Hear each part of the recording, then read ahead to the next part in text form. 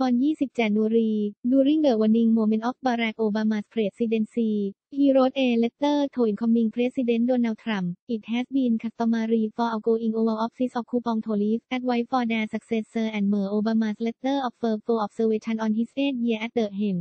These letters are usually not made public until later in a presidency, but eight months into Mer Trump term, the public can now read one of the first things he likely read upon entering the White House. Mer Trump has reportedly been showing the letter to visitors and said shortly after taking office that it was long, it was complex, it was doleful. This is the last direct correspondence between the two men that we are aware of. According to CNN with obtained a copy, Mer Obama's letter, written in longhand and left in the resolute desk in the Oval Office, is 275 word long. After the contentious 2016 election during which Mer Obama and former First Lady Michelle Obama spent several months questioning Mer Trump's ability to be the so-called leader of the free world, Mer Obama wrote this is a unique office, without a clear blueprint for success. So I don't know that any advice from me will be particularly helpful. Still, let me offer a few reflections from the past eight years. Mer Obama, on the campaign trail,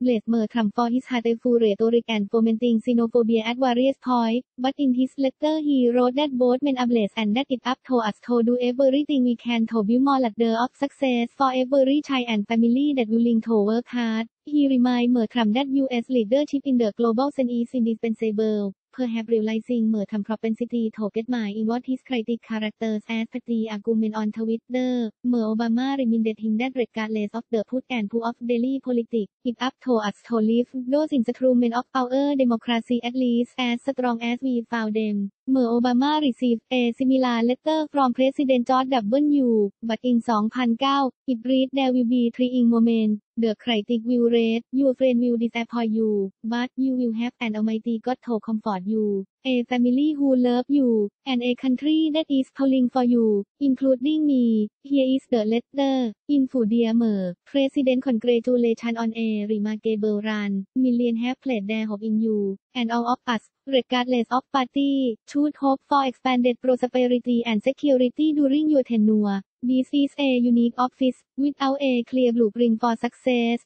so I don't know that any advice from me will be particularly helpful. Still, let me offer a few reflections from the past 8 years. First, WA both been blessed, in different way, with great good fortune. Not everyone is so lucky. It up to us to do everything we can to build more ladder of success for every child and family that willing to work hard. Second, American leadership in this world really is indispensable. It up to us, through action and example, to sustain the international order that expanded steadily since the end of the Cold War, and on with our own will and safety depend. Third, we are just temporary occupant of this office, that make us guardian of those democratic institutions and tradition like rule of law, separation of power, equal protection and civil liberty that our forbid for and for, regardless of the put and pull of daily politics it up to us.